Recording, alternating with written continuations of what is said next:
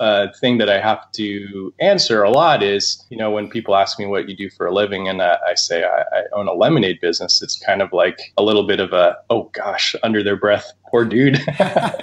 we are talking about lemonade here, but lemonade, when you do the numbers that we do, we're doing six figures in shows. Our record is over six figures in a day. And in order to pull that kind of money in, you need to have a super solid system.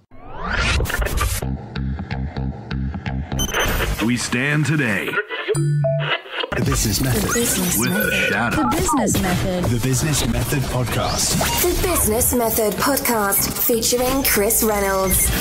Entrepreneurs' systems, methods, tools, and tactics for location independence. Ladies and gentlemen, boys and girls, I'm your host, Chris Reynolds, and welcome to the Business Method Podcast, a podcast featuring successful entrepreneurs and high profile people dissecting their online and location independent business models. We dissect the different methods, tools, and tactics of high performance online entrepreneurs and high caliber people in a series format. On our first series, we interviewed 100 entrepreneurs in 100 days that had built businesses creating $100,000 or more annually. On our second series, we are interviewing 100 entrepreneurs that have built location independent businesses that generate a million dollars or more in annual revenue. There's a growing movement of people building these caliber of businesses, and we are getting behind the minds, the logic, and the science of what it takes to build businesses like this. On top of that, we also gather entrepreneurs at events and retreats around the world. This October, we are having our annual event in Thailand, Get Shit Done Live. It's 10 days of high performance productivity, targeted collaboration, and rapid execution designed for entrepreneurs to get a lot of work done in a little amount of time. Some say it's like 10 months of work in 10 days. There's a magic that happens when brilliant minds come together to push one another towards productive execution. That is exactly what this retreat is about. Check out all the details at thebusinessmethod.com. That is thebusinessmethod.com now. Let's jump in today's show. The Business Method. Have you ever had a dream to start a business that would allow you to have six to eight months off per year so you can do whatever you want? I know I did and still do. Josh Lange is our guest today, and he had that same dream. Josh started his first lemonade stand when he was only 22 years old. He was so motivated to work the summers and ski during the winters that he hustled at events around the country for four months, working as hard as he could to take the rest of the year off. Fast forward a few years, and now he regularly makes over six figures at one event and has built this into a seven figure business and still taking at least six months off per year. On the show today, Josh shares how he started out with just $100 in a dream. He dives into tons of his secrets, including the importance of persistence, creating impeccable systems to run a business, the difference between a five, six, and seven figure mentality, and how to grow your mentality as an entrepreneur. Josh also trains entrepreneurs to grow their businesses, and of course, towards the end of the show, we ask him how to make the best lemonade in the world. Just a heads up, you guys, for some reason, the microphone did not want to connect during Josh's interview, and we didn't find that out until afterwards. So the quality is a little bit worse than normal. Apologize, but it's still very clear and turned out to be a really good episode. Without further ado, this is a fun episode. Josh Lange. Entrepreneurs, systems, methods, tools, and tactics Listeners, I'm really excited to welcome Josh Lange to the show, the founder of Just Squeezed Juice and Just Brewed Coffee. Josh, how you doing today? Very well, thank you. Thanks for having me. And you're calling from the other side of the world, Victoria, British Columbia. Is that right? Actually, I'm sitting in uh, in Whistler, British uh, Columbia. Yeah. yeah. we yeah. had we had another guy on the show that lives in Whistler. His name is Nev Lapwood, and he's the founder of Snowboard Addiction. .Com have you ever met him? I have not met him actually, but now I want to. Actually, yeah. So we did a podcast. It's thebusinessmethod.com forward slash nev dash lap lapwood. And if you want an intro to him, I think you guys would probably hit it off with your lifestyles. But he was a Kiwi from New Zealand and moved just to Whistler to snowboard. Started doing these cool snowboard videos on this platform that was really new back in the day called, and now it's YouTube and now he's got this uh, multi-million dollar business selling snowboards, snowboard equipment, and doing still doing teaching people on YouTube how to snowboard. So you guys might be a, a good fans of each. other. You're you're a skier or snowboarder too, right? Yeah, I'm a skier. Um, you know, kind of born skier uh, since the age of four, and then you know skied my entire life, and actually dabbled a bit with snowboarding too. I, I had a little bit of a I used to compete actually in skiing and uh, and then in snowboarding. So, Wow. but for the most part, I call myself a skier. Although I do throw on the snowboard once or twice a year still. That's good. At least you cross over now and then, and you're not wholeheartedly just one or the other. You know, you got to mix it up, right? it's good to have you know skills in life, and if you can throw on uh, a snowboard or you know, I, I actually still find it just fascinating that you slide down a mountain on this on you know frozen water. yeah. you know, going as fast as we can is actually you know i- i- is under control as we as we are too. Just it's it's it's one of the most amazing things ever. It's probably like surfing. I don't know if you ever surfed, but Yeah, for sure. I lived in Costa Rica for a year, so I got a lot of surfing. yeah, exactly. And and you never know. It's good that you know both skills because you never know when you're going to be in the backwoods and you only have a snowboard or you only have skis and an avalanche happens and that's the only way to get out, right? So Right. if you Exactly. don't, if you've never snowboarded or you never skied, you know, there's your you're, you're gone. You're gone. you're toast. Exactly, exactly. But you're from Santa Fe, is that right? Yep. Yeah, exactly. I, I grew up in Santa Fe, New Mexico. That's where I actually started my business, just Yeah. squeezed. And, uh, but I've moved around uh, quite a lot, um, lived in, in a, a huge variety of places. Um, so I've definitely been type of person who is a bit nomadic and likes to, to adventure around, explore the world and, and, you know, take chances with, even with living in different places. So I've lived anywhere from, the most random place I've lived for me, for people who know me, is New York City, which doesn't really mix with uh, you know who I am in my personal life. But I thought, you know, why not give it a try? And probably the the the most um, exotic place um, is Switzerland. So, which you know is more in line with the kind of guy that I am, skiing and being in the mountains. Yeah. Do you, do you have a home base now, or do you just kind of each every six months decide on a new place and stay there? Yeah, so in my older years now, not that I'm old, but um, I've definitely settled a little bit. I still get around a lot, um, but I, my home base when I'm not on the road working is actually in Vancouver, British Columbia now. So Okay. that's where my girlfriend is from. She's actually from Victoria, so uh, so that's where I call you know my home base. But my second home base, where we base the business out of, and where we pay taxes, and where we store all of our equipment, which is pretty vast right now, is um, is in New Mexico. So that's our our business Gotcha. base. That's also where my family is. And why do you choose Victoria, uh, BC for for your off season? Um, well, actually, Vancouver, but um, Vancouver, sorry. Um, well, that's where my girlfriend is, Okay. and um, yeah, we're, uh, we're we're probably gonna move to Squamish here pretty soon, which is a really killer spot. I don't know if you've ever been up here, but Uh-uh. great spot for mountain biking and uh, uh, outdoors, outdoor lifestyle. Very cool. Well, um, I I love your business model because, as you know, we're featuring 100 seven-figure location independent entrepreneurs um, who have built these amazing business models. And usually, we get people that are kind of in the tech scene or have these online businesses, and they get to live remotely and run, you know, um, a software company or run uh, sell things on Amazon and all these different things. But your story is awesome because it's kind of like every kid's dream, you know, as they're 12 years old, selling lemonade on the golf course or in their little small towns. And they're thinking about how they can make a million dollars, and you kind of just did it. And what's what I, how I relate to it is because I think we grew up probably before the internet boom happened, and I was in grad school, and I actually had a goal to start selling things at uh, state fairs and big fairs all around the country. And I made a business plan out uh, one summer when I was in grad school. I figured out the financials, the numbers, the investments, all the stuff that I needed.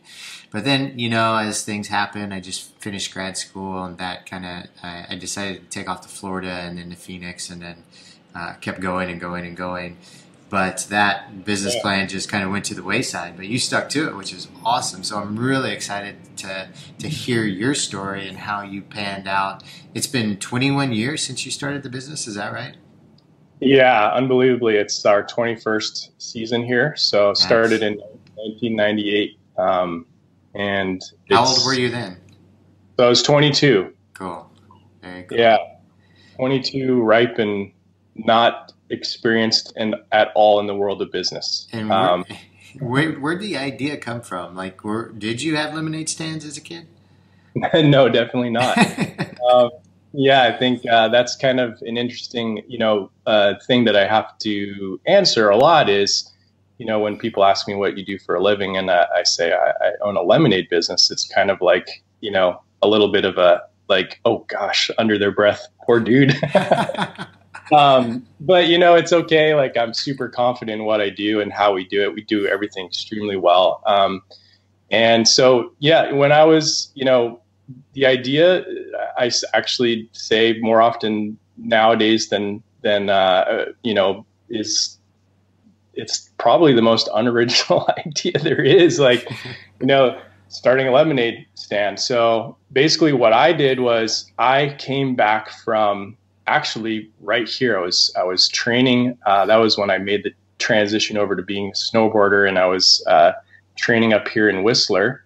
Um, I'm staring up at Blackcomb Mountain right now at the window, and I was training right here on this mountain. And um, I had come back from the season, and I was completely broke and trying to figure out a way to to make some quick cash. So I got a job as a bartender in a little restaurant, and um, kind of always been a bit entrepreneurial. You know, like when I was ten, I had a lawn mowing business. Um, uh, I dabbled with, you know, always trying to make money here and there, however I could. Um, did a ton of different jobs growing up, a ton of different jobs, and I always kind of had the the idea in my mind that the more I did, the better I would be when I grew up. Um, so I'm very grateful that for that actually, um, because that helped me be be a better entrepreneur for sure. Um, so anyway, I had the idea just to to really, you know, when I was a bartender, I was like, I might as well just figure out how to be my own bartender here and build a little cart and make fresh squeezed lemonade, and uh, you know, make my own money. So in a way, I was creating my own job at the time. Um, and the way I looked at it was, you know, it, it's kind of like being a bartender. You know, I, I made it so that it looked like a little bar, and um, you know, uh, I had a fresh squeezer, and I, you know, made my own sugars. So I kind of just made it as cool as possible. So I was like using a shot glass and like, you know, putting two shots of sugar, and then I would shake it up. And so I really was just replicating like what I wanted to do that summer, and um, thank God I did. And you know, I think something that I that come comes to me naturally is I'm willing to just I have an idea and I'm willing to go for it. That hasn't always worked for me. That has actually been a bit of a problem for me um, through the years, right? But As with all entrepreneurs, yeah. exactly. Um, but that's also what makes us, you know, good entrepreneurs is we're willing to try stuff. And as you know, I'm sure we fail at stuff. And that's how we start to get, you know, good at what we do. Yeah, very true. When uh, what was the very first festival that or carnival or event that you worked at or that you had a stand at? Yeah, so when I started, I got a, a spot in downtown Santa Fe in the in the the art district uh, called Canyon Road.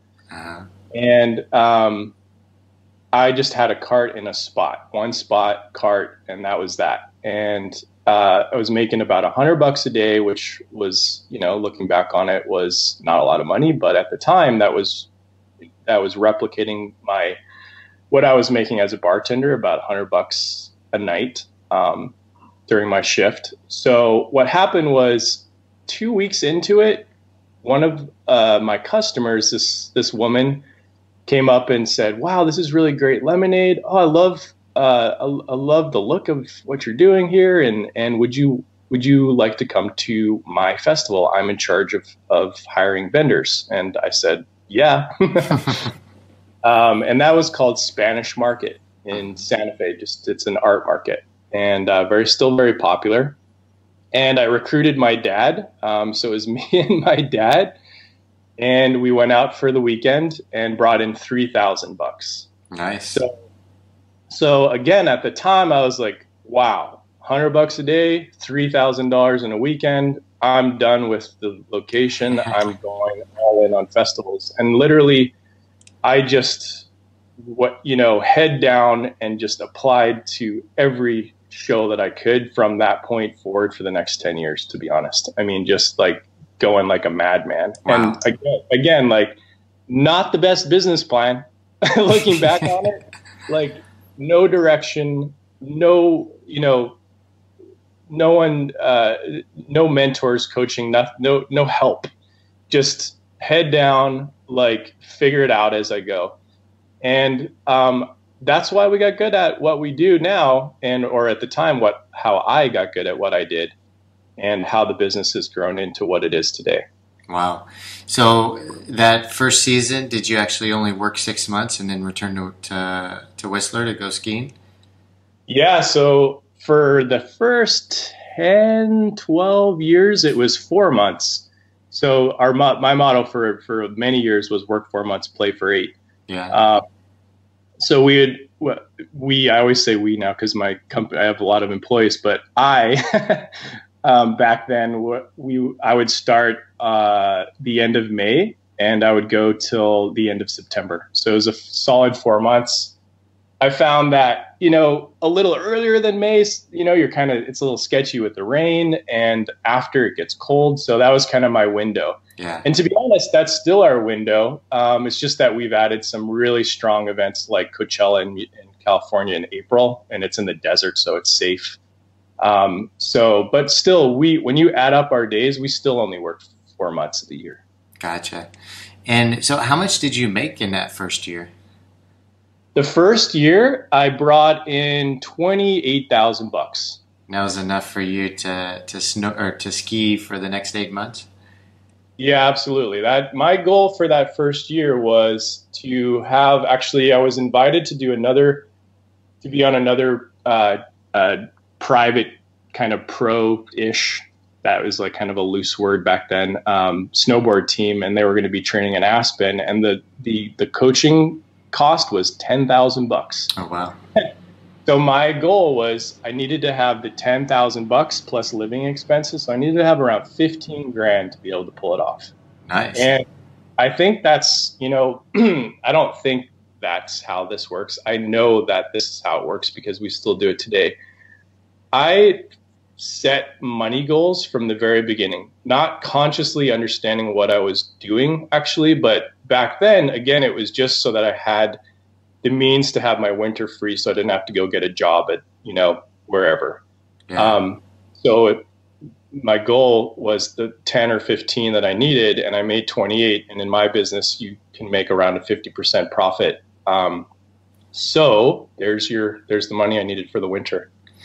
Do you still consciously make money goals every year, Oh, absolutely. Not every year, every show. every show? And what's that process like for you? Like, take us through um, you analyzing a show or event that you're going to um, uh, work at and deciding, okay, this is how much I think I can make. Um, how does that How does that play out?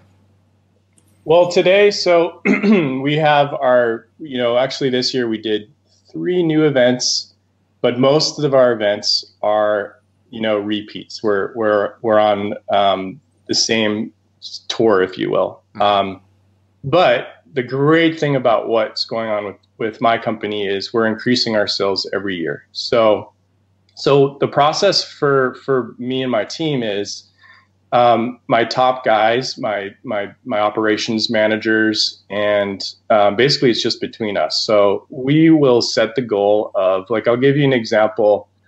a great example actually is a show that we did in um, in California this this summer in Napa Valley, and I was not going to be there this year. So that's another great part about growing is eventually you can step out of it and let your team, as long as you have a strong team, run some of these shows. Right. So what I did was, um, like we always do, is we set that goal. And um, the cool part about this example is I wasn't actually there. So the goal was the year previous we had made seventy thousand dollars at that show, and this is over a few days. Mhm. Um, and we wanted to increase our sales. So I said to my main manager, "Hey, let's let's shoot for a hundred. Let's increase, you know, thirty thousand dollars." And he um, is definitely been trained pretty intensely by me over, you know, over the last years. And he's just one of those very adaptable um, sponge minds who will just, you know, bring it, bring it on, and and and actually not only like blindly go, but um, understand what it is that we're trying to accomplish. And what I mean by that is. He, he's not set we're not setting unrealistic goals we're not saying we're going to bring in you know half a million dollars at the show because it's just it's not possible and i think that as a, a new entrepreneur or an entrepreneur or any or anyone you have to be realistic in what you are what you're actually trying to accomplish. Yeah. so anyway we had we had set the goal for 100 and he said i really think we can do 110 let's set it at 110 i thought shit buddy you know i love i love the ambition. Yeah. um, this is what you know has made again this my company grow is the not only my ambition but my guys and my gals their ambition too so um, so the event goes by he sends me the numbers and he hit $111000 Wow. so we're always very very conscious of what we're what we're trying to do but we kind of reverse engineer it and we say okay well how many lemonades do we need to sell in order to get to that goal if our price point is you know um, whatever it is eight dollars uh, some of our show a lot of our shows we're getting an average of eight dollars a lemonade now which is phenomenal That's unheard of. That's so cool. yeah, which actually it's worth saying when I started the business, I my price point, my entire game, my entire game, which is crazy to think of, was two dollars for a small lemonade and three dollars for a large lemonade. Yeah. That was my game, and that's how I brought in twenty eight thousand dollars in the first season. Which, to me, if I know, you know what I know now, which is impossible, but even if I had figured out how to market a little better, I get a little more money, I could have doubled that money in the first year. So it's like this is the the the magic of business. Yeah, absolutely. I want to ask you before we get too far down the road of your story. In those early days, other than like acting like a bartender to serve lemonade, was there anything that you did um, that made you stand out from some of the the other vendors that made you that made that woman come up to you and say, or other people come up to you and say, "I want you at my festival"? Um, I so growing up, I I used to uh, build houses. So I was a laborer um, for years um, through my teenage years. So I had some skills with wood. So when I built that, and I still do this, we try to build our stuff the coolest of anyone. And I, I mean, not to pat myself on the back, which I am right now, but um, we really do try, not only try, but we accomplish looking better than everyone else. Uh, I think that this is an extremely important part of business, especially for my business.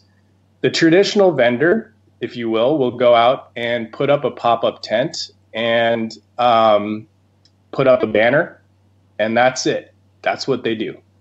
And we go in there and we build a cafe. Um, so, you know, right now we have a show that's happening, not happening, it's being built out right now. I fly in on Monday and the guys are already building it out, but we're building out three big, really, really cool looking cafes. And we use a lot of wood and metal just because that's kind of the stuff that I like. And we do is you know we we we're always like reinventing, not reinventing like on a you know yearly basis, but we're always like the better word is ahead of the curve. Yeah. We're always trying to be really you know as with the times as possible and get ahead of of everyone else. And we've done a great job with that. And because of that, we've gotten some unbelievable contracts.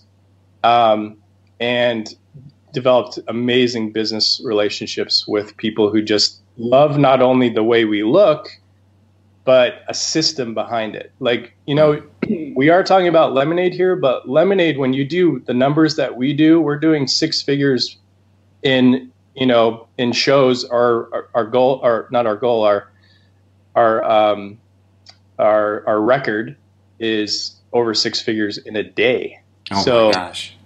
So we're doing really, and in order to pull that kind of money in, you need to have a super solid system. Yeah. So we've got that, and um, so I'd say from the beginning, that's you know, I back then I I built it out of wood. I went to the local lumber yard, found the coolest old, you know, knotty cool wood, and I was into uh, an island theme for some reason back then, and I, I made like a thatched roof, which didn't match at all being in New Mexico. but it just worked, right? It just seemed like a, a holiday. And I think it's worth saying too that who you put behind the bar, Mhm. right, is enormously important. So it was me. I was a 22 year old, happy, excited kid. It was my business. I would. I've always been good with customers right? I like I like to talk to people. Um, so I think that made a huge difference too.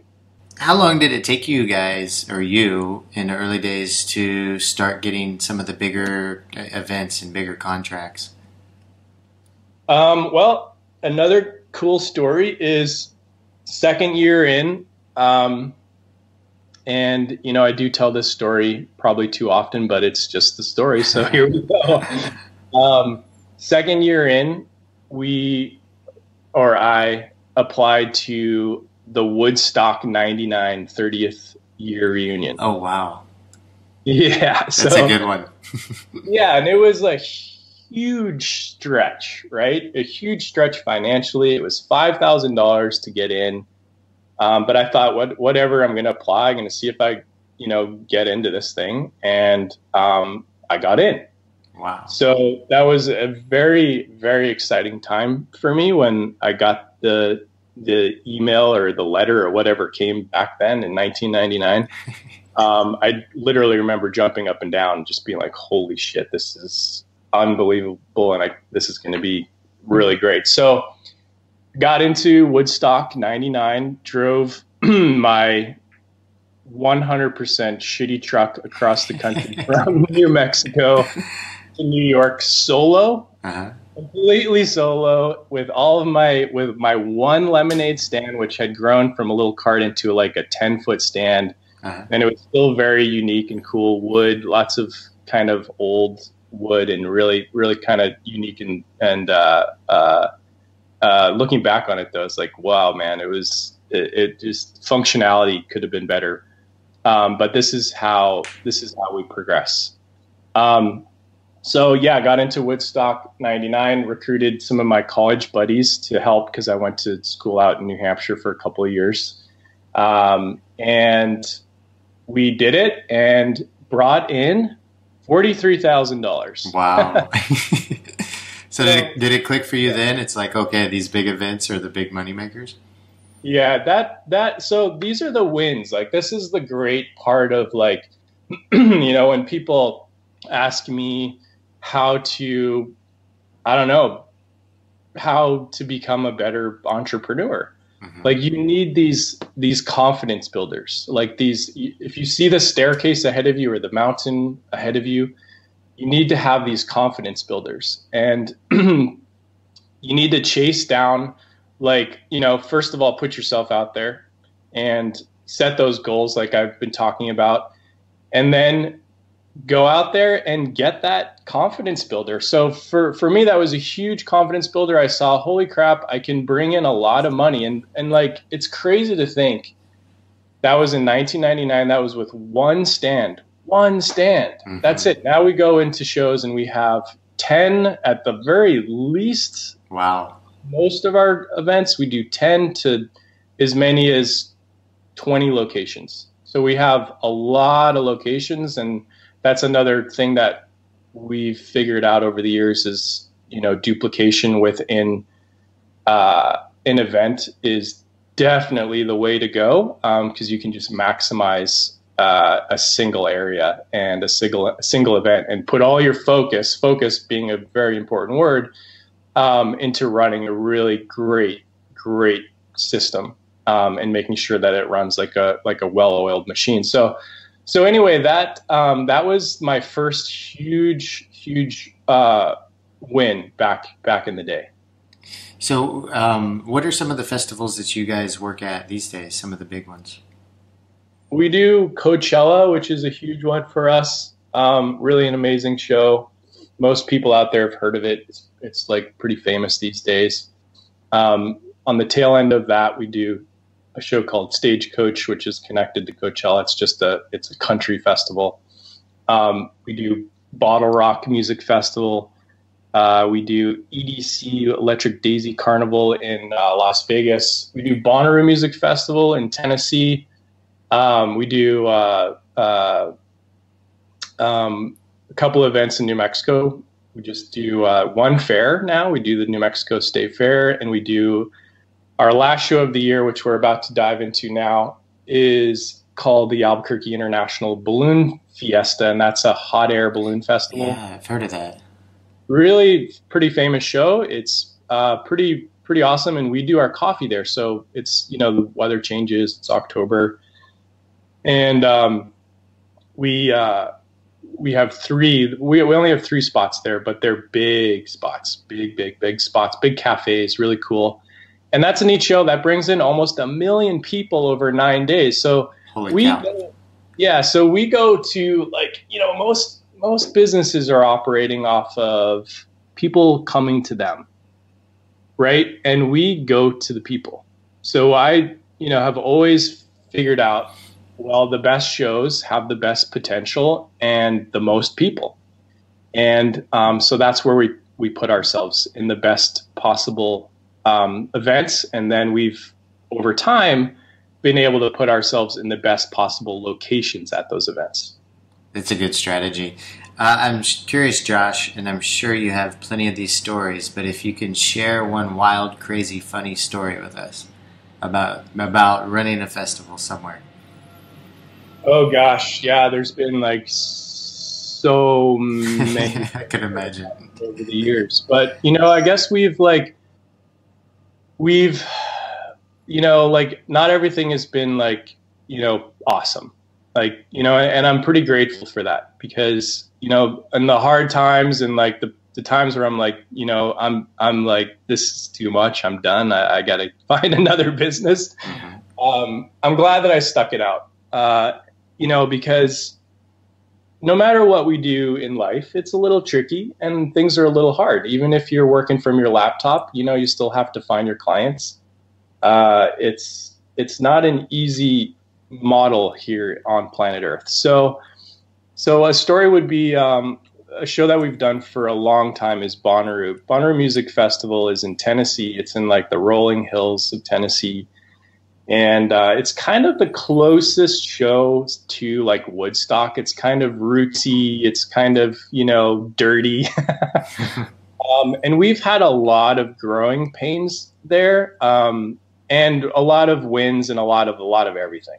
So we used to be uh, primarily out in the camping area. So a lot of these shows, you have a camping area, and then you have the inside area yeah. And for forever, we couldn't even get inside. Like it took years to get inside. And it, like, uh, since we're talking about Bonnaroo, it's just, it's a really interesting, actually, in like the importance of patience and, and vision. So Bonnaroo is a great example. It took me 10 years to get so we've been there 12 years. No it took me eight years to get inside. So what for the first freaking eight years i'm outside in the camping area and the camping area is wild. Yeah i can imagine. Right? And like especially this show like coachella is not so wild. It's pretty pretty tame i think compared to some of the stuff that we've done but Bonnaroo, there's this one area called Pod Three. Pod Three is um, they call it the what is it Shakedown Street, kind of like Shakedown, like I guess Grateful Dead era. I don't know. And basically, Shakedown Street is a drug fest. okay. like crazy stuff going on. So there used to be like here we are running our lemonade stand, and it's open 24 hours a day down there because people are just partying, and it's just it's wild. Mm-hmm. Um, and one year in particular, uh, there were drug deals happening, like like basically right near or next to our stand, like you know the most obvious things. It was very uncomfortable, actually, to be honest. Um, and and our neighbors. This is kind of funny, but not really. our neighbors, these pizza guys, they were all on coke. They God. were all coked out and crazy. And they were like, so as the show progresses, it's a four day show. Things get crazier and crazier, and there's drug deals happening inside their their uh, their wow. their booth. Yeah. And um, the owner at one point is chasing his daughter down the street with a knife. Whoa, no way. And then another time, uh, one of their workers gets a bottle cracked over their head. And I'm like thinking, I'm a pretty, pretty like innocent guy, really, pretty focused on business. I'm, I'm not there for, I'm really not there, and I never have been there for, and, you know, let me just add that I think this is one of the reasons why we've done so well. I've always been there for business to make money Yeah. a lot of these guys are there to party. And I'm like, why are you combining partying and business and like trying to make money? Like just focus on making your pizza, man. Uh-huh. And you would do so much better. So um so that was a crazy that was a crazy year. And you know, to be honest, that show it, it was like that for many, many years. And I remember very, very specifically going to the uh, the organizer and saying, "Look, like I am done with Wild West." I called it Wild West. Like I, I, I really, we need to be inside. We've been here a long time, and we really, you know, we're we're gonna leave your show if we can't get inside and get established inside where it's a normal business. I'm done with the Wild West out there. and we did eventually, you know, um, get out of the Wild West. It's been like two or three years now, and now we're inside. And the great thing about about patience and vision and business relationships is we now have all the lemonade inside. Wow. So 17 locations inside Bonner. It took us it took us 12 years. Um, but or 11 years something. And now we we have the entire show inside and we're as long as that show is around, as long as we don't screw up and as long as we still want it, we'll have it forever. That's incredible, man. And certainly, like, that's kind of, I'm sure that's against the show rules to have, you know, your workers or people that are serving to be using drugs and to be uh, Yeah. drug dealing and being violent and partying. That seems a little crazy. Wow. Yeah. Uh, I want to ask you, you keep this keeps coming up, and this is uh, a huge part of my motto. And talking to all these entrepreneurs, I find this comes up over and over and over again. You keep talking about the system, the system, the system, the system of your business. What are some suggestions that you could give other fellow entrepreneurs or entrepreneurs that are listening about the importance of building a solid system? Gosh, you know, it's going to be different for obviously the thousand different listeners uh, with their different business plans. Um, but I think, um, I think simplicity, like, you know, for for my stuff, um, you know, lemonade is is an extremely simple simple product. However, we've complicated the shit out of it, right? so, you know, so. Um, so, gosh, that it's kind of a tricky thing to answer because I think that the best the best answer that I could probably give would be the reason why like my system is what it is today is because I tried something and then I tweaked it and then I tried something and then I tweaked it and I tried something and I tweaked it.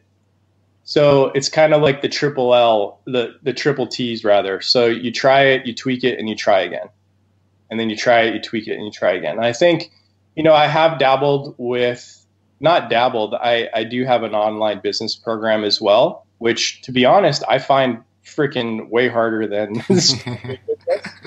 you got to get the people to come to you. And I'm not used to that. I'm used to going to the people.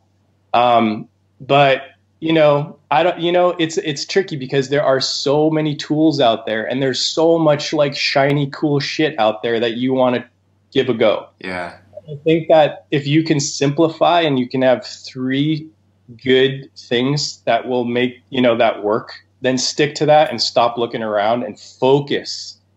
Focus on those three tools or those two or those five or whatever it is, the things that you need to make your product sell and then focus and then do that over again and then within that tweak that so there's always going to be like variation and like some you know a product might not really go the way you wanted it to or you might have a new idea for a new way to sell that product. Tweak it not you know little tweaks until it works and then go with that um, until you want to you know create a new product. That's what that, that's what i've done you know we've we've gone from like i said before selling a $2 and a $3 lemonade. We had two different flavors lemonade and raspberry lemonade. And you know it's it's it's interesting like that you can use lemonade as kind of a metaphor for business but it's kind of in so many ways lemonade is the perfect example of running a business. Um, if you can look at if you can look at whatever your stuff is as a lemonade how can i sell this lemonade to a lot of people right? That that's basically what we do. Like how can we sell this very simple product lemonade well, so how do you do it? Well number one make really good lemonade right? Mm-hmm. so because there's a lot of guys out there that make really shitty lemonade. Like why why would you be a lemonade person and make shitty lemonade. It makes no sense. Make the best lemonade that you can. So whatever your product is make it the best product that you can. And then figure out how to market it right? So we figured out how to turn a $2 lemonade into you know our our small shows or, or rather not our small shows. Um, our most of our shows we do uh, we do one size now. It's eight bucks. And we add another dollar for a strawberry lemonade because we figured out that raspberry doesn't sell as good as strawberry. So that was a tweak. You know i used to have a menu that was ridiculous mango and blueberry and all this crazy stuff. And i found that my line slowed down. So i've always paid attention to how do i expand? How do i try to make my products you know how do i tweak this simple idea into something bigger and then i've learned how to like go and back back off and like find what product really works the best um, Very Hopefully cool. yeah, that's amazing. Actually, that's that's really world class advice. I was taking some notes while you were saying that because that was really good. Now, your company, Josh, uh, the philosophy is to live life to the fullest, you know, and I think you're doing this for your team and for yourself, and and serving amazing lemonade and coffee to the world. Um, what does that mean, living life to the fullest, when you first started out, and what does it mean for you now? Yeah. So for me, um, in the beginning, it meant to have my winters free so that I didn't have to work. That's that's what it meant. That was the goal for for the first, you know, whatever. I was still competing in the beginning, so I was I was my own sponsor pretty much. Um, so that was the goal. And then when I stopped competing, I still wanted my winters free. I was, you know, s- still highly addicted and in love and passionate about skiing and being in the mountains and and traveling and stuff. So for me, it was always to work those four months and have enough money to live the hell out of my life. So, you know, travel for three months. Not, you know, like I hate the traditional lifestyle. I just still makes me like kind of, I don't know, you know, not super excited for a lot of Fair to say, it's okay. yeah but so i'm you know i'm super untraditional always have been but so for me you know it was like i want to travel for three months or a month or you know go on amazing trips. Like this year i'm going to alaska to go heli skiing and um, nice. last year i went heli skiing in uh, british columbia and i go on you know month long trips in my my souped out truck rv that i can go you know four four by four by fouring in the in the snow and go skiing in the backcountry or whatever. But at, the point is is i can disappear for a month or three months or five months. I can do that. Um, i don't have to be back on monday and I think that it's like, you know, like I'm really grateful that we're all different, us humans. Like, there's a place for those people who want to go to their nine to fives. There's a place for them. Like, thank God for them, right? Because we can be who we are. Um, so, but for those of us who have that, like, that fire inside, who want to explore around and um, you know be adventurous, explore the world, and experience cultures and all like you, right? Obviously, that's exactly who you are. Yeah. Then then we have to make that shit happen. So um, I think I got I think I got off a little off uh, the question there, but um, No, I think that's good, man. That's a great way to answer it for sure. A couple more questions, Josh, and we'll wrap up. If if you knew you had an extra hundred years of life, what would you be doing differently? huh. Um, I always got a little bit uh, annoyed with myself that I wasn't planning better. So this is kind of a double-edged sword for me because I'm I'm very I've been very in the moment for a lot of my life, and um, that is not a bad thing. Like I've done, I, I, I go for stuff. I, if something comes to my way, if I have an idea, I go for stuff. And, you know, I apply to those big shows, or or I hire massive teams. That's ridiculous. Still today. Um, um, so I've been a little annoyed that I didn't plan better. Like you know, like get those those more locations or or you know i guess been more minded. I, i'm trying to think of the best way to answer this. Here here it is right here. If i had thought about you know um, how to get better locations and more locations um, and put more work in my off season like the, the double-edged sword here is the freedom is important and i just told you that i can disappear for five months. However it's really important to to have that vision and to plan that vision. So if you're traveling around, or if back then when I was traveling around, instead of just shutting my business down and putting it away and saying I don't want to see you for six months, mm-hmm. see you in six months, if I had just spent a little time, planted a little more seeds, then I think that I would be further along than I am now. So if I had more time, I guess. Um, I, you know, now that I hope I'm answering this, um, I guess you know, if I had more time, then I don't know what I'm complaining about because I could. That's what I'm doing now. Yeah. So we're good. you're solid. You're planning everything now. but I think that's important for the listeners. Like, plant those seeds. Yeah.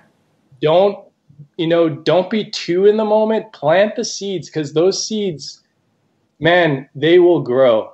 They will grow so huge that into a massive, a beautiful tree if you plant those seeds and you think about about that future of yours. Great way to put it. Okay, for you in the lemonade events business, and I always ask the guest this: What do you think is the difference between a five-figure mentality, a six-figure mentality, and a seven-figure mentality? Uh, confidence. Good answer. Could you elaborate a little bit more?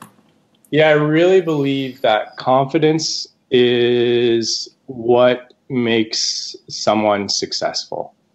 So, so how does that work? Like, like I was saying before, if you don't have those little wins, those little wins that turn into bigger wins, if you don't climb that staircase and you're, you know, you, you just, you, as humans, our our emotions, as soon as we can feel like something worked, we're like, yes, awesome, it worked. Okay, I believe in myself.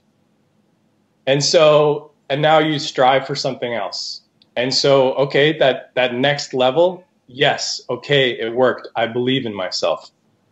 Right? If you don't believe in yourself, if you have that self doubt, or if you listen to the chatter of the world, which is going to be a dead end for you. Mm-hmm. Don't listen to the chatter of the world. Um, you're going to have a lot of struggle. So I think that we, as entrepreneurs, as people in general, we need to have those small little wins and build that confidence. So I think, I think the confidence is is the way that a five figure can turn into a six and can turn into a seven. Um, and I think that planting the seeds you know, you have to plant the seeds. You got to look ahead, and you got to be, you got to be setting goals. And I think it goes with the confidence because when you set the goals, like if I said I want to make um, a hundred thousand dollars this weekend, and I had the means to do it, and I had the product to do it, and I had the system to do it, and then I reached ninety nine thousand, I would say, "Holy shit, I pulled it off," and I would have that self worth, that self confidence that I did this, I could do it.